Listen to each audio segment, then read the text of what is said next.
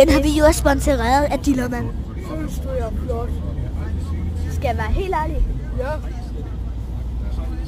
Du er fandme grim.